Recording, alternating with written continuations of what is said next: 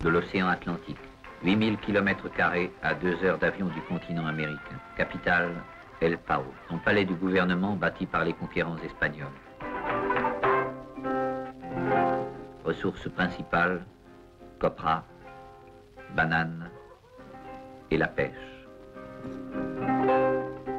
Cette description de l'île ne se trouve pas dans les guides de voyage, car depuis longtemps aucun touriste n'a été autorisé à débarquer à El Pao. À côté des masures où végète une population misérable, 2000 condamnés, dont 500 politiques, sont les hôtes du pénitencier de l'île d'Oreda.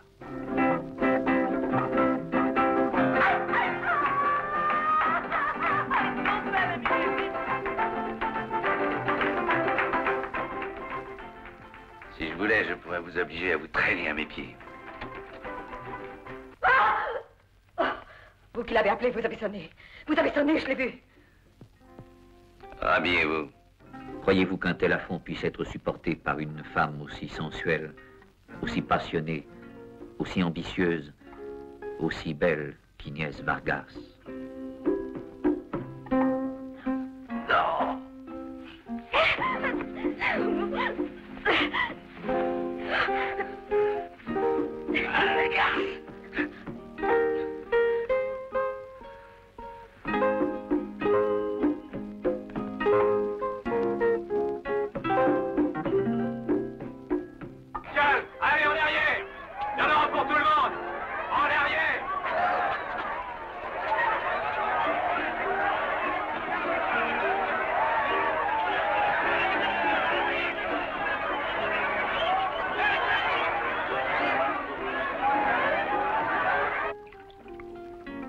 C'est dans cette atmosphère de fièvre, dans cette jungle étouffante, dans cet enfer des hommes où la révolution se prépare.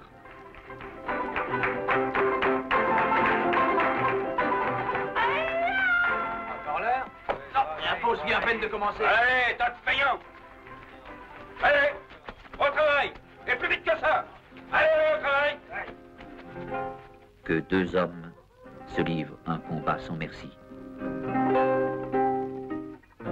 Combat où l'amour ne le cède qu'à la haine. Ramon Vasquez, jeune homme ambitieux, qui répugne à la violence. Cette semaine, il y a eu plus de 20 malades sur le chantier.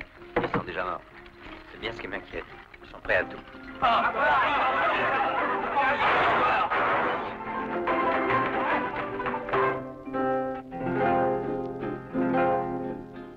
Égual, l'homme sans scrupules, cynique et autoritaire.